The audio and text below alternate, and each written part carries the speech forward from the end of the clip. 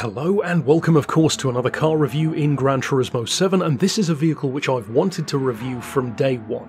Even more so when I saw the specs in the game. It's of course a Vision GT car, which a lot of people are not a fan of in general anyway. They prefer to have real cars in the game. That's understandable. I personally like it when we get the craziest ones, like a couple of the most popular, the Tomahawk, the Chaparral laser car. Those tend to really embrace the lunacy of the Vision GT potential, and that's when my favourite stuff tends to happen. This one is exactly that. This has 1,876 horsepower, all electric, one forward gear. So, in other words, it's got 1,000 horsepower more than a Red Bull in this game. It weighs 1,400 kilos, which isn't too bad. Again, you've got the battery pack, of course, in an electric car, which is always going to increase the weight. The performance points are crazy high. It's one of the relatively few cars to exceed a thousand points. Even stock, it's 1035. If you swap it to soft tyres, it jumps to 1045, or just under 1044. But unfortunately, one of the major downsides of this compared to the past of Vision GT cars is that, much like many of them, Tomahawk notwithstanding, in Gran Turismo 6, the Mercedes was good in this regard. You can't tune many of the settings that much, which is a shame, because it basically means what you've got is what you've got, and that's all you've got to work with. So, in the case of this car, you cannot adjust the downforce, you can't drop the weight or increase the power. You can decrease the power and increase the weight with ballast and a restrictor, which could come in useful for certain point levels, say a thousand for example, but in terms of you know suspension gearbox diff that's where it's really limited. You can't tune the transmission at all not surprising for an ev car. The suspension side is just dampers basically. So you're very limited in terms of what you can do. The question is then what does it give you to work with? Well, that's where things get interesting, because this is almost like a combination of some of the best Vision GT traits and some of the, not necessarily worst, but some of the ones which I've never been a fan of. Now, as many of you have been around on the channel for a while will know, I do not like the Subaru Vision GT, mostly because it feels like a front wheel drive car. It just feels like it can't get the power down effectively and ends up having a very strange handling signature. Now, I haven't driven that one in this game yet, but I'm going to assume given the past two games, it probably still feels fairly similar. Also, the Nissan GTR LM Nismo, the real Le Mans prototype with front wheel drive has a very distinct and challenging style of steering. But when you get those cars right, especially the Nissan, they can actually be something of a weapon.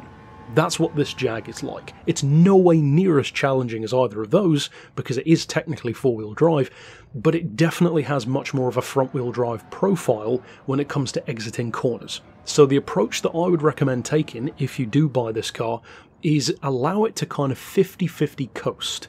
So, coast through corners with about 50% throttle and don't really open up that power until the car is pointing basically exactly in the direction you want it to go.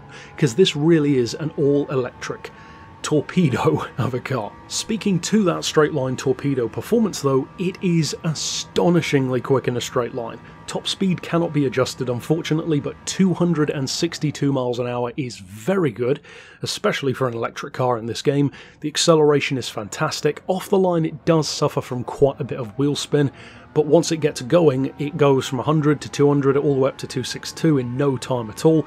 And even here at Le Mans, with the chicanes and less than perfect driving, there were more than a few occasions where I went over the track limits, for a reason that I'll get to in just a second. Even with all of that in mind, it still did a sub 3 minute lap. So the performance is fantastic on this thing, especially compared to the vast majority of other Vision GTs. They do tend to be cars which are great on paper, but don't always live up to that in practice. This is, I would say, definitely one of the best Vision GT cars if you actually plan to race it. It's a monster of a car. I absolutely love it. I think it's crazy and very cool. It does have, as you'll have seen in the review, a fully detailed interior, which is very nice to see for a change in a Vision GT car. And the reason why I said I was going to come back to me quite a few times going over the track limits is actually nothing to do with the handling of the car and actually more to do with the brakes.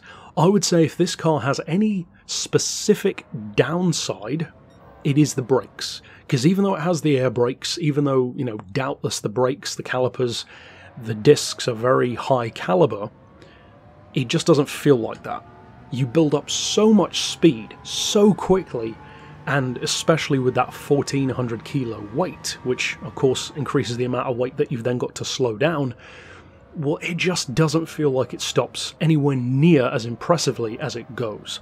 That's a unique challenge because with, with something like the Tomahawk, it stops on a dime, ridiculously quick.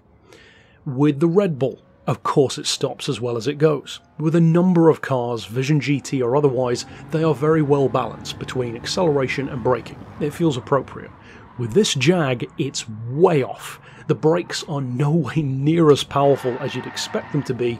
They're actually more like what you'd assume would be in uh, maybe a GT car, like a GT3 machine, not even a Le Mans prototype, they're not even that powerful. So it's a learning curve using this vehicle, and I would summarise my thoughts on the Jag by saying that I love the fact that they put this in the game. It's so much more useful and so much more badass than the normal version, as nice as that one is, but crucially, it's a car which is easy to drive but hard to master.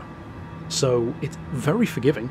9 times out of 10, acceleration's easy to use, if you coast through corners, it's very smooth, very controlled. It doesn't really surprise you that much, but if you push it to its hardest, that's when you really need to get a few practice laps in, get some time with this car to learn the nuances of how to get the best out of it in terms of the torque steer, the low speed uh, heaviness, the, the understeering effect, and of course spinning up the front tyres through low speed corners.